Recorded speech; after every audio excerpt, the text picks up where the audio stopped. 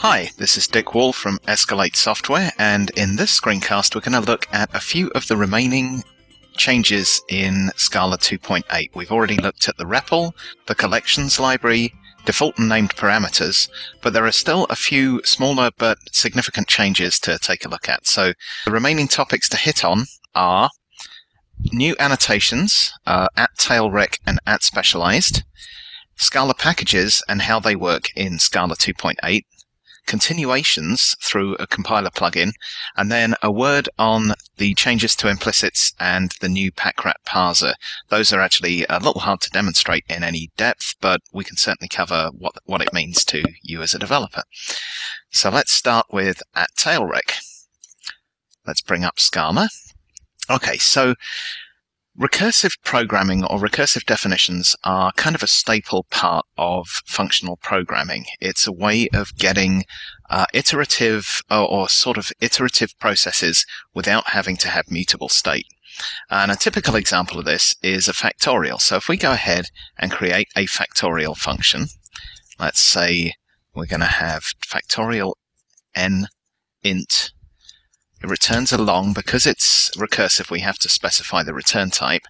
And then we say this will be set to if n is less than 1.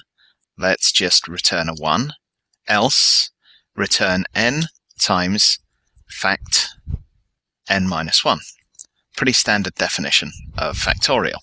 So let's give this a try. Fact of 5 is that 120 fact of 10 is a much larger number, 3.6288 million. And fact of 20 is really pretty big, uh, a very large number. Okay, so this is this is all good. Uh, the thing about recursion is that you know, as methods or as functions get really highly recursive, you can end up putting a lot of, uh, or losing a lot of performance and putting a lot of strain on the stack. And eventually you can actually run out of stack space. Functional languages have a trick that they call tail recursion elimination. And what it's able to do is if the recursion call or the tail or the call is in the tail position, as in the last thing that's called, it is able to turn it into a loop, and that means avoiding the problems with Stack Overflow and performance. Uh, so in this case, it looks like we have the call in the tail position here. So let's see what the compiler makes of it. The new feature in Scala 2.8 is a new annotation called at tailrec, and you can get it in scala.annotation.tailrec. There we go using the command line completion again. So now I've got that in, I can take that same definition that I just made, and I can put an at tailrec in front of it.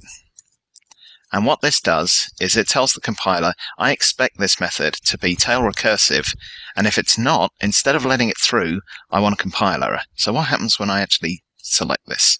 Okay, uh, it actually tells me that this retains a recursive call not in the tail position.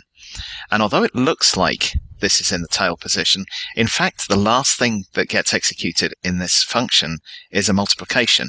What it does is calls the factorial of n minus 1 and then multiplies it by n times and returns it. So our logic here was flawed, and this is actually not a tail recursive method.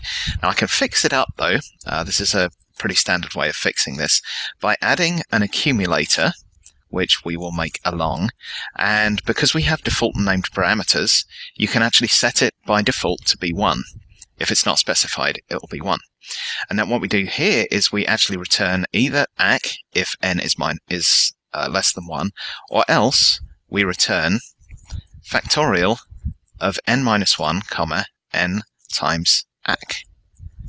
And that's how we fix this. Now if I hit that, it actually accepts it, and I can still do fact 5, fact 10, and fact 20. So there you go. Now this is actually truly tail recursive. So this is a wonderful annotation to be able to ensure that what you think is tail recursive is the same as what the compiler does. And there's another trick that it has. Actually, you'll notice here the, the error method or error message is Error could not optimize tailrec annotation method. It contains a recursive call not in the tail position. It tells you exactly what's going on. So let's take a look at this in an IDE. Here's my IntelliJ session, and I'm going to do the same thing that I just did in the command line there, or in the REPL. I'm going to say import scala.annotation.tailrec, and down here, I'm going to put the tailrec on annotation on this. Save that, and then we're going to hit make. Okay, and we get the same error message. Tailrec annotation method, it contains a recursive call not in the tail position. So let's go ahead and fix that like we just did. Ack long equals 1.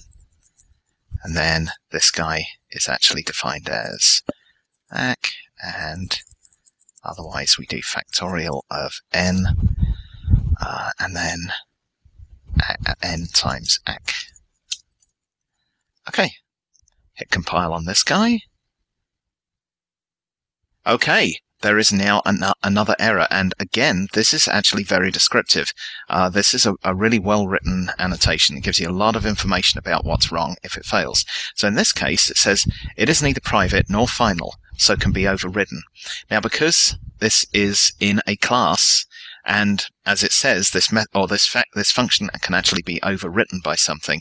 It can't be optimized by the compiler because in order to make it into a loop, uh, you would lose the ability to override it further down. So in order for the compiler to actually make this work, we're going to go ahead and make this final and hit the return or hit save here, compile it again, and this time you should see down here compilation completed successfully. So that is now working and we can run this guy and see the output. And there you go. So that works. So that is the tail recursion elimination. Very nice uh, annotation in 2.8. Tail Tailrec's pretty nice, but there is another interesting annotation in Scala 2.8 that's definitely uh, has some very important usages, and when you need it, you'll know about it.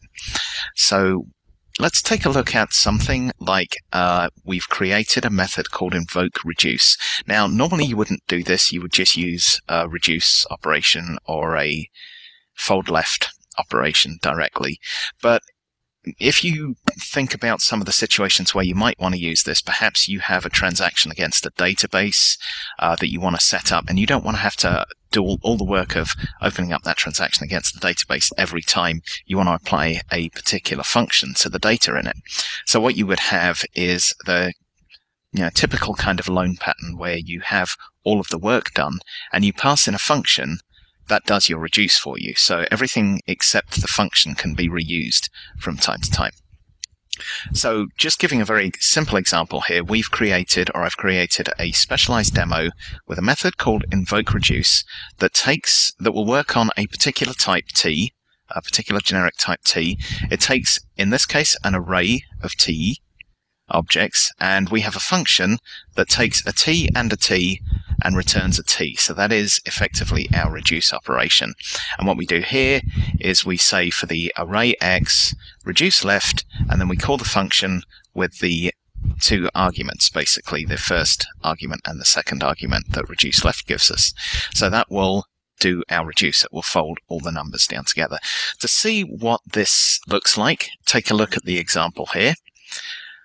So this is uh, an example. We create our specialized demo, and let's say in this case we give it an array of integers, and we give it a function that creates or that takes two integers and returns the result of adding them together. So dead easy. And as another example, we have an array of doubles, and what we uh, give the uh, method call is a function that takes the two doubles, returns the product of them.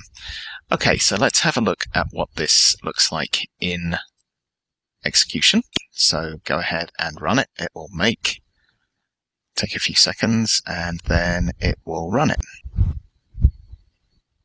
Okay, and there we go. So the result of our first operation, adding all of the integers together, is 30, and the second one is 120.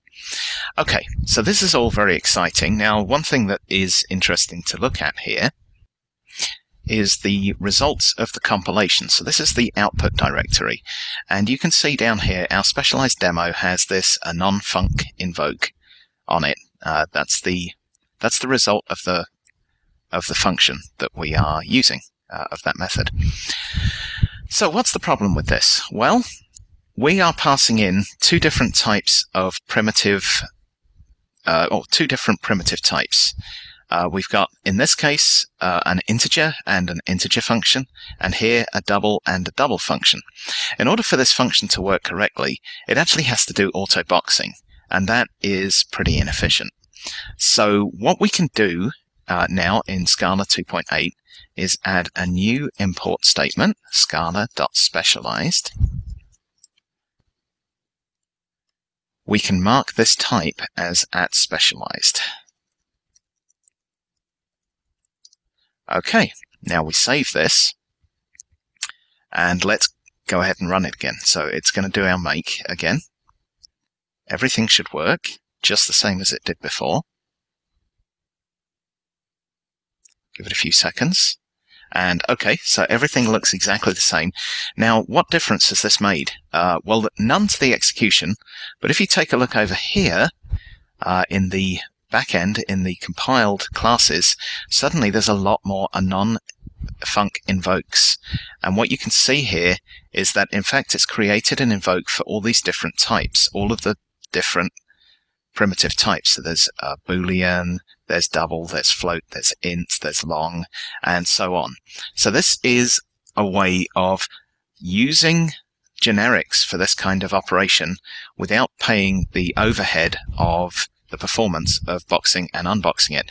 Uh, the, the price you do pay, however, is that you end up with a lot more, a lot more functions generated. And that can be significant, particularly when you start getting the kind of combina- combinatorial explosion that happens if you have multiple at specialized types defined as generics. Uh, but anyway, this is a useful tool for performance tuning.